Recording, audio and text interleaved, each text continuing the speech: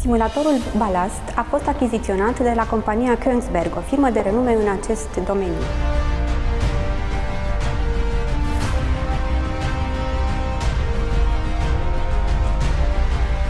Conform caietului de sarcini, simulatorul va oferi o replică realistă a dinamicii comportamentului unei platforme mobile de foraj pentru balastare și a sistemelor de menținere a poziției.